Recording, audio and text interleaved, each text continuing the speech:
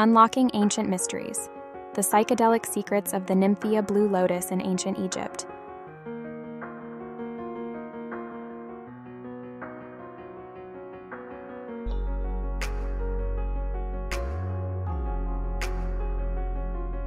Imagine a flower so captivating, so vital to a civilization, that it intertwines itself with their religion, art, and daily life.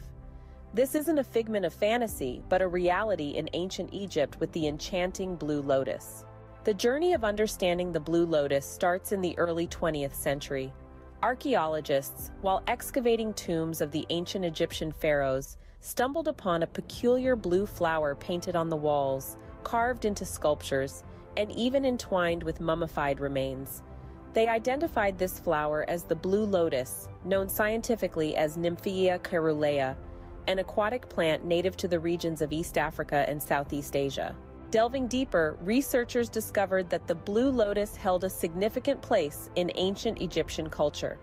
The flower, with its enchanting blue petals and golden heart, symbolized creation and rebirth. It was believed to be a divine gift from the sun god Ra, who emerged from its petals every morning to bring light and life to the world. As dusk fell, Ra would retreat into the lotus, marking the end of the day.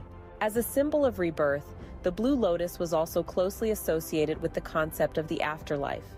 Ancient Egyptians believed that just as the lotus folded its petals at night and bloomed with the morning sun, human souls would also experience a cycle of death and rebirth.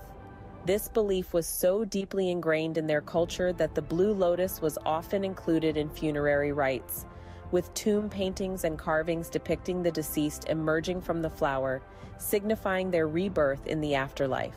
But the influence of the blue lotus didn't stop there. It was more than just a religious symbol.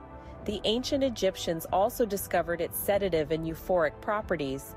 They found that when soaked in wine or brewed as a tea, the blue lotus induced a state of relaxed euphoria, making it a popular choice for social and religious gatherings. However, despite its deep-rooted significance, the use of the blue lotus gradually declined with the fall of the Egyptian civilization, and it slipped into oblivion for centuries.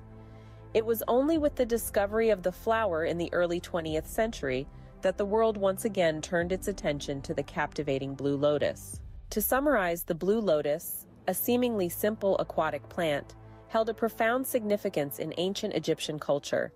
It was deeply intertwined with their religion, symbolizing creation, rebirth, and the afterlife. Beyond its symbolic value, it was also valued for its sedative and euphoric properties, making it a key part of social and religious events.